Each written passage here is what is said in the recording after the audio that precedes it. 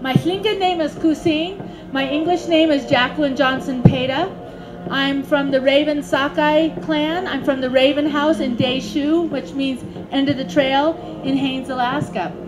Um, I'm also on the board of Sealaska and proud to be one of the sharing the stage today with one of our other board members. I'd also like to recognize Rosita Worl. Rosita, who is the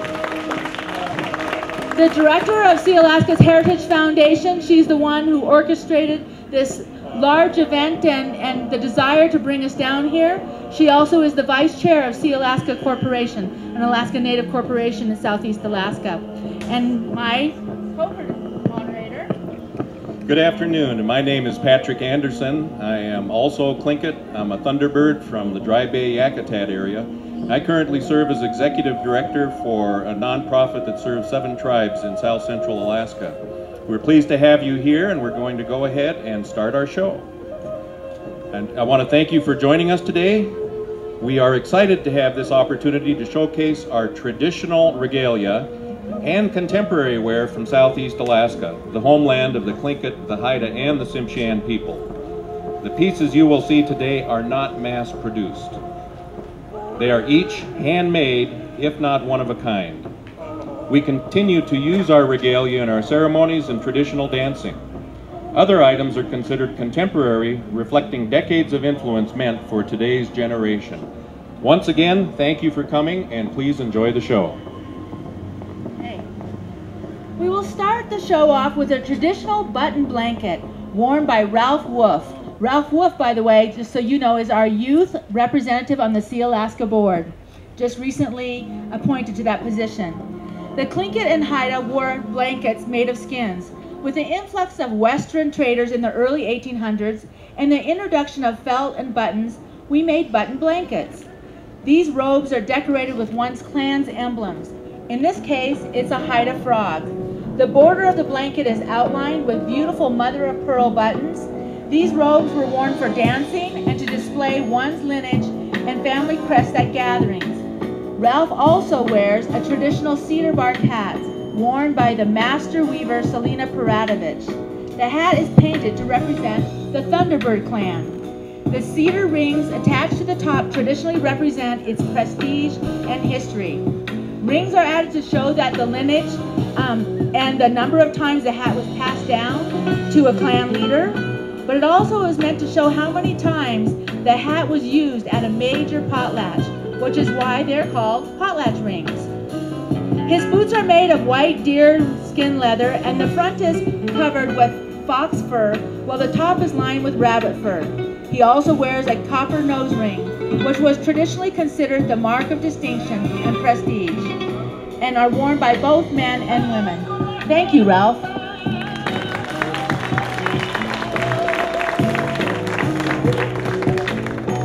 Next, we have Nikki Demmert and Crystal Rogers wearing the Raven Creation tunics designed by Dorothy Grant. These contemporary red and blue kimono style tunics have a silkscreen design. Need to wait for the models to catch up. Depicting the traditional story of how Raven created man out of a clamshell. The front designs show two tunics of a human, while the black shows the images of Raven. The tunics are outlined with beautiful mother-of-pearl buttons, reminiscent of a traditional button blanket. Their silver and copper jewelry is designed by Tlingit artist Nicholas Galanin. Nicholas's pieces reflect both traditional as well as contemporary approaches to art. The copper necklace worn by Nikki has blueberries dangling down from her neck, while her wrist is adorned with a contemporary and organic raven bracelet.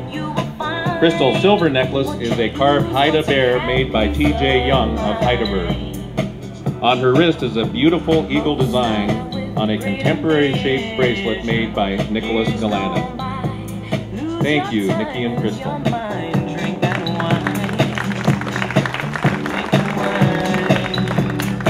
Our next piece is a traditional tunic worn by Judy Ramos. Judy is of the Raven moiety of the Copper River Quashqueqan clan and the Owl House. Her beaded owl represents her was made by her mother Elaine Abraham and represents her clan house. The beaded cuffs and borders were also made by Elaine. She wears a red and blue beaded raven headband to show her moiety along with the beaded sealskin moccasins. It is beaded on moose hide and is adorned with tassels. In front of Judy is a beaded Athabascan baby carrier that is fully beaded with a beaded leather strap and fur trim. Hanging across her chest is a beaded octopus bag. The octopus bags are named for their wide cloth fringe representing the tentacles of an octopus, usually comprising eight points. This design arrived in Alaska through trade from the Hudson Bay Company. This type of bag was originally created by the eastern woodland tribes as a device to carry tobacco, pipes, or ammunition. However, in southeast Alaska, the octopus became, bag became widely used with our ceremonial regalia. Although other Alaskan tribes use the octopus bag, it is the Tlingit who have become most associated with this piece of regalia. Thank you, Judy.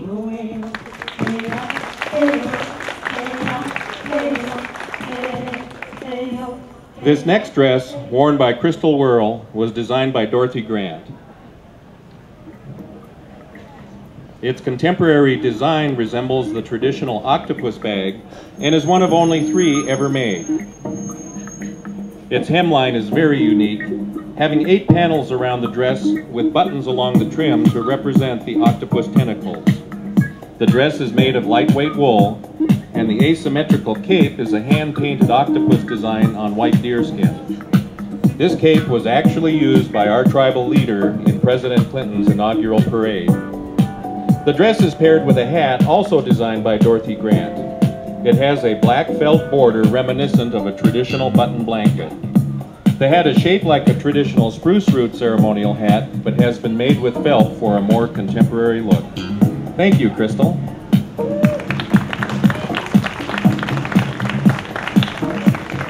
Ralph is coming out next wearing a traditional sea otter vest. Sea otter was highly prized material and upon Western contact quickly became a worldwide item of luxury and prestige. This vest was made by Donald Gregory. The beading on the back of the uh, back was done by Francis Johnson of Angoon, Alaska, and represents the Beaver clan.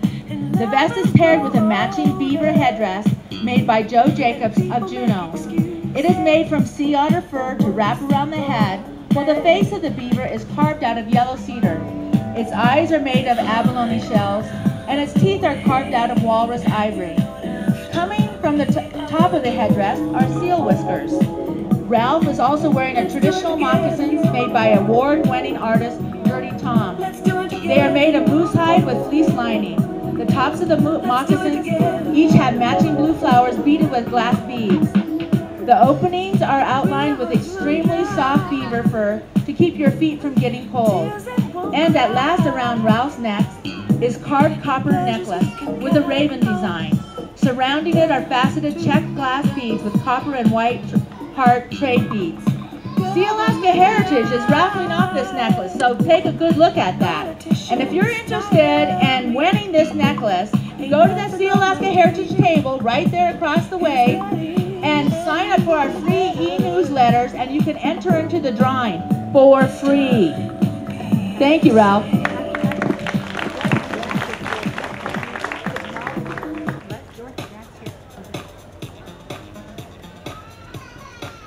Next, we have Maka Monture, who is wearing a suit designed by Dorothy Grant, who is somewhere out here in the audience. Dorothy, do you want to stand up? Wait, there she is in the back, under the tree. The short wrap jacket has a hummingbird design on the front. The jacket is paired with the matching skirt, which wraps around the waist to show its form line hem. Maka is also wearing a unique hat that is designed to complement the suit. The right side of the hat has a northwest U-shaped design. It is made of red and black felt and is shaped using traditional form lines. Thank you, Maka. Thank you, Sunny. We have another special um, grouping. And I want to acknowledge the artist of this grouping is um, Clarissa Rizal. Clarissa, are you over there? Do you want to wave? There she is in the weaving in the corner there. So her garments are going to be coming up next, and make sure that you come and visit her too. I'm waiting to see if I got the go ahead here. Yeah, so don't forget that we have these artist tables over here, and the artists are actually doing their artistry right there. We have people who are um, weaving, um, not just cedar bark weaving, but also um, chilkat rope weaving. And just let me tell you a little bit about the chilkat weaving. Chilkat weaving comes from the Klukwan area where Rosita comes from, where I come from, and there are less than probably a dozen um, chilkat weavers left. Um, it's made from mountain goat wool, um, and then you mix it and, and uh, uh, spin it uh, with uh, cedar bark um, for the warp, and then you weave the intricate designs. And designs are all uh, um, tell like stories, but they um, they are symbols of their clan within them, and sometimes it's hard because you see them broken up pieces um, but there'll be a piece of a wing or a head. But all together, those weavers and those designers know what that looks like. So we're ready. Okay, Crystal and Shakutsi are coming out next wearing a chilkat robe hot off the loom. They just took it off. the robe is titled Jenny Weaves an Apprentice, and it is hand woven by Clarissa Rizal. This dance blanket is the story of a teacher and a student. If you look closely, you will notice that there is a chilkat robe within a chilkat robe. The past weaver of this story is depicted with the traditional colors of yellow, black, white, and green. The present day weaver, weaver is depicted in the yellow, black, white, and blue. Our people originally used green, but eventually began using blue. The blue dye was originally derived from the boiling of the U.S. Navy Marine blankets. Crystal is also wearing a raven's tail headdress to match, which was also woven by Clarissa. Underneath, she's wearing a beaded deerskin dress by Kate Waters Boyan, who was made 30 years ago for Clarissa's mother, Irene Lampe. Next to Clarissa, we have Klakunzi, He's wearing a hand-woven raven's tail ensemble titled Copper Child. The pieces are a collaboration of a mother and a daughter, Lily Hope and Clarissa Rizal. The pieces include the robe, the tunic, apron, and headdress, trimmed with the copper cones and the sea otter fur. Thank you very much, Clarissa, Crystal, and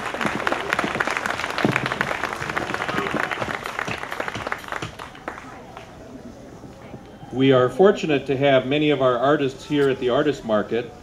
Up next is Louise Kadinger, who is wearing a stylish vest that was designed and made by her.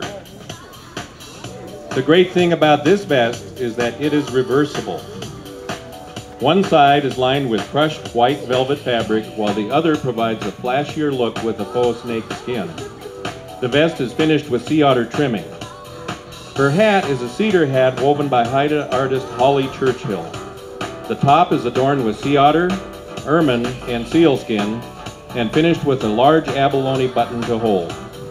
And finally, her look is completed with moose hide boots made by Sue Williams of Saxman. Their tops are beaded forget-me-not flowers, the official state flower of Alaska. Oh, she didn't get those on. Thank you, Louise.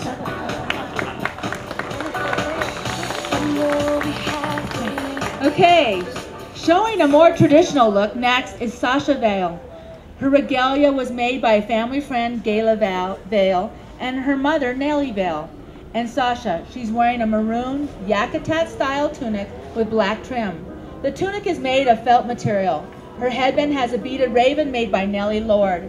She is wearing a bib and a beaded crescent moon and star and the crest of her clan house. The copper shields, also known as tanaz, are on her shoulders are her clan crest as well as the traditional form of currency for the Tlingit. The back of her regalia has another raven, beaded by her mother. There are also two humpy salmon on her back, which represents her clan crest, what she beaded herself. There are also various flowers and seaweed designs along the trim of her regalia. The paddles she is holding were carved by Fred White. They have ravens on one side of them using for, for abalone for eyes. The opposite side of one paddle has a humpy salmon and the other has a moon. Her high-top moccasins are made out of tan moose hide with rabbit fur used as trim. Thank you, Sasha.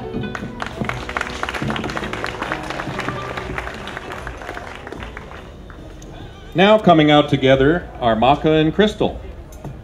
They are both wearing jackets designed by Haida artist Carol Brown. Crystal is wearing a black, lightweight, zip-up coat.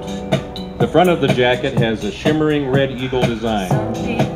Maka's jacket is light gray with abalone-style buttons to close. The front of her jacket has a red and turquoise raven design, adding a beautiful touch of color to this sophisticated look. Each girl is also wearing their own sea otter fur scarf. Crystal's scarf is made of, of sea otter fur with a small opening at the bottom, allowing you to pull the scarf through to keep it in place. Maka's scarf is also sea otter, but is sheared, giving it a lighter color to match her jacket. Both ladies are also carrying small purses made of sea otter and seal fur. The purse can be used with a brown leather strap or it can be unclipped to use as a small clutch. Thank you, Maka and Crystal.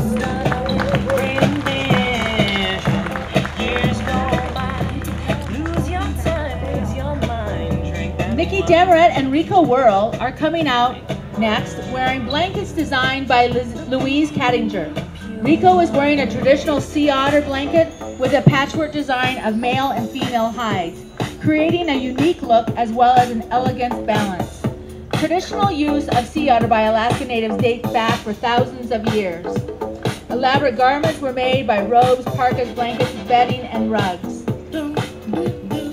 In fact, Native Alaskans have used sea otter um, for all types of garments and clothing for a long, a, a long time. These particular sea otter furs, um, harvested by Louise and her children. After harvesting, the hides are tanned and processed that takes roughly one month.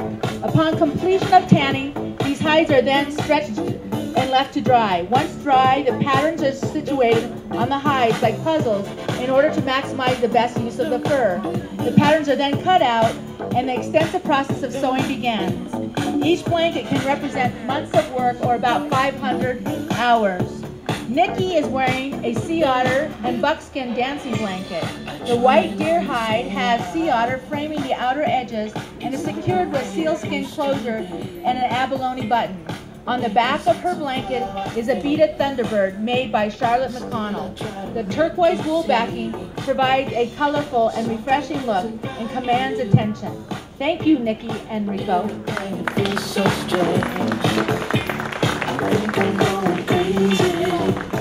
Many of the items you're seeing are for sale, and you can see them and purchase them over at the artist tents, which, tents, which are just over in that direction. So please feel free to go over and take a look. Next, Louise Kadinger and Crystal are wearing elegant evening gowns, each paired with its own unique shawl designed by Louise. The Southeast Alaska Indians traditionally wore capes of sea otter and other skins for everyday wear and traditional regalia. Louise's shawl is made completely out of sea otter, lending an air of opulence to any outfit. Soft, sensual, and superbly warm, a silk underside complements the luxurious design. You can wear it with a winter coat or drape it across your shoulders with an evening gown. Crystal shawl is made with both seal and sea otter to wrap around your arms, adding a unique touch of glamour to your evening wear or your dinner suits. It has a wide band of sea otter and is separated by a thin band of seal to contrast. Louise also designed and created Crystal's hairpiece. This ultra-thin headband has seal and sea otter layered and mounted on it to create what Louise calls a plinkett flower. It is finished with abalone and turquoise buttons to add a touch of color. Thank you, Louise and Crystal. Our next model is J.P. Buller, who is of the Eagle Moiety from the Gothla Kagwantan clan beaver house. He is wearing a red headband with a beaded eagle on the front and a medicine flowers around the side. He wears two white eagle feathers in the back, meaning that he comes in peace. His tunic is black with smoked moose hide trim. The red beaded designs on the back of his chest rep- represent the spirit face. He wears copper designs or tanaz on his shoulders. The beaver design on his abdomen represents his house crest. On his lower tunic borders is beaded seaweed and medicine flower designs. He wears an eagle design on his back representing his clan. His boots are made of wolf hide and smoked moose hide with a beaver design and eagle. His gloves are also smoked moose hide and beaver fur with a medicine flower design. Thank you, JP.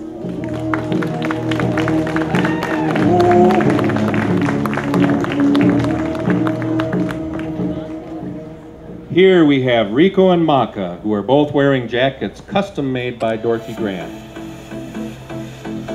Maka is wearing a women's short tan lambskin leather jacket. The back has a black raven design that is hand cut and machine applique. The front has matching feather designs with gold snaps to close. Around Maka's neck is a tan and orange scarf titled Soaring Traditions and was designed by Haida artist Eric Parnell. Rico is wearing a men's black leather lambskin coat. The back has a two-headed eagle design that is hand cut and machine applique. The front has a salmon design. The silk tie is designed in our traditional colors of red and black and has an image of an eagle. It was designed by Tsimshian artist Phil Gray. Around his shoulder is a laptop bag designed and made by Rico himself. Rico and Maka are also wearing matching sealskin belts designed by Louise Kadinger. Thanks, Rico and Maka.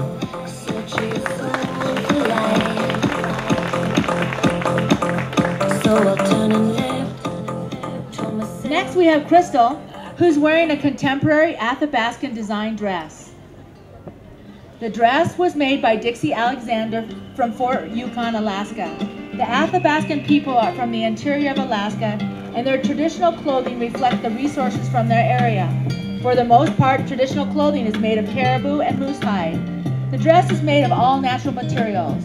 The belt is moose hide with glass beads and turkey feathers on the backside. The trim on the bottom of the dress is also moose hide with glass beads and dentalium shells sewed on. The dress itself is made of deer hide. The cuffs are made of moose hide and with caribou bone buttons as well as glass beads. Beadwork is traditional Athabascan of beautiful summer flowers that are Gwich'in style. Inside the flowers is tufted caribou fur made to look like pussy willows. The matching slippers are made of moose hide soles with deer hide that wraps around her ankles. The hair barrette is made of moose hide with turkey feathers attached. Both the slippers and hair barrette have the glass beaded Gwich'in style summer flowers with the tufted caribou pussy willows. Thank you, Crystal.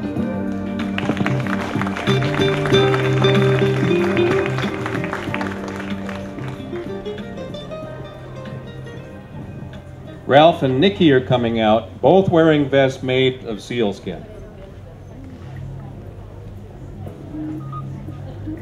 Ralph's vest is made by Donald Gregory and is of a tan and brown colored seal hide. The inside is lined with silk.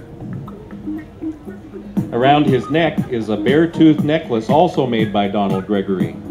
The six brown bear claws are separated by faceted check glass and black trade beads. The center of the necklace is a carved eagle head made out of ivory and abalone.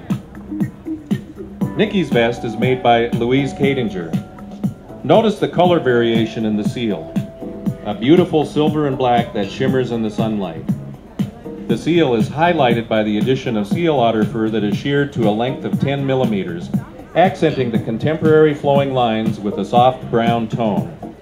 Her outfit is paired with a matching sheared sea otter fur hat, guaranteed to keep your head warm. Thanks, Ralph and Nikki.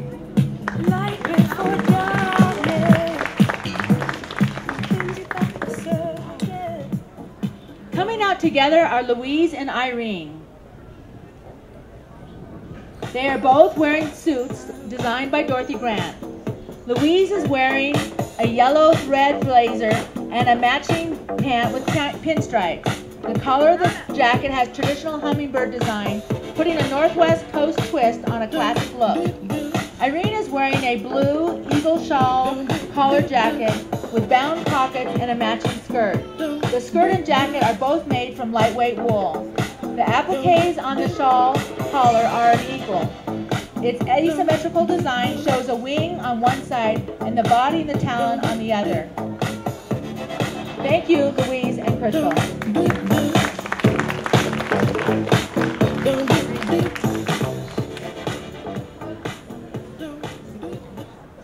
Now displaying the warrior spirit of our people is Kai Monture, who wears a blue and black tunic which was made by his grandmother, Elaine, and his mother, Judy Ramos. is calling our name. The white flower border represents flowers asleep in winter. Our calling in vain. On his back is a raven, which represents his moiety, and Mount St. Elias, an emblem which is owned by his clan. His boots are made of caribou hide, and he wears a copper tana made by John Rowan. His warrior's helmet is also made by John Rowan and is made out of a wood bureau emulating a human face. The top is outlined with human hair, while its teeth are made of shells. His warrior finish look is finished with a rock mallet made by John Rowan. Thank you, Kai.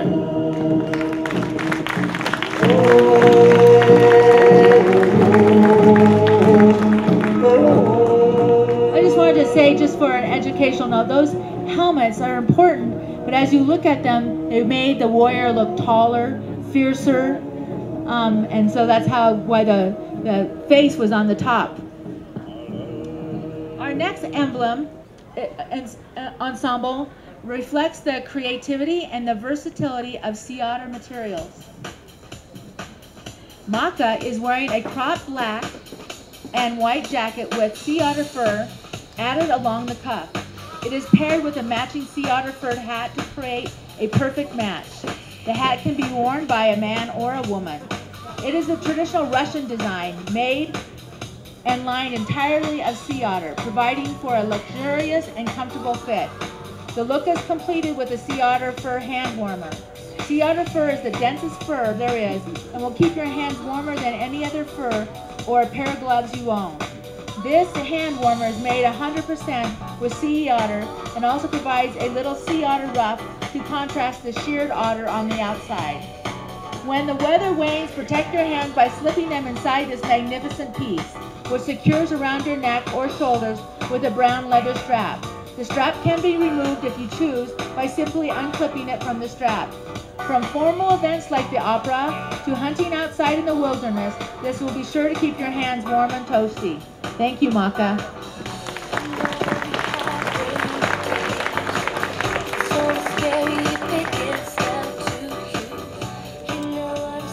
In our final display, Cristo Rico and Kyle Worl are all wearing Chilkat robes with traditional headdresses. The Chilkat robe is the most distinctive form of ceremonial dress, and unfortunately, less than a dozen weavers still make the Chilkat robe today. The robes are made from mountain goat wool and cedar bark strips and exhibits an emblem of the clan. This rare garment takes more than a year to make. Rico is wearing the Chilkat robe made by his great great grandmother, Jenny Thlunaut of Klukwan, Alaska. It has the eagle of his father's crest. He is also wearing his traditional clan hat. Rico's hat is carved by Michael Beasley and represents the Raven Coho clan, and also has ermine fur hanging from the top. Crystal's Chilkat robe is made by Anna Ellers, who was also an apprentice of Jenny Thlunaut. The robe has a tana woven into it, which is a traditional sign of wealth. Crystal's headdress, made by Ray Peck, is known as a gangush and represents the Bear Clan. It is adorned with abalone shells and outlined with human hair. Kyle is. Oh, they switched on me. Ralph is also wearing a chilkat robe made by Anna Wolf Ellers. He has the crest of his great great grandmother, Jenny Thlunaut. Ralph's hat is carved by Archie Kavanaugh and represents the Ganakdedi clan. ermine hangs from the top. Chilkat robes are used for traditional dancing and can provide for quite a show. Their fringe at the bottom flies in the air the harder one dances, giving an entertaining and dramatic performance. Thank you, Rico, Crystal, and Ralph.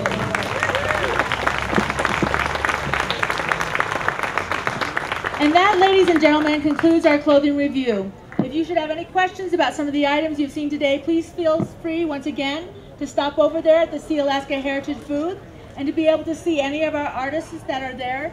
Um, we have Nicholas Galanin, Donald Gregory, Holly Churchill, Clarissa Rizal, and Louise Kadinger. Dorothy Grant is also in booth 747, Lincoln E. And so before we close, I want to bring all of them back out again so we can have all of our models come out. And you get to practice your what?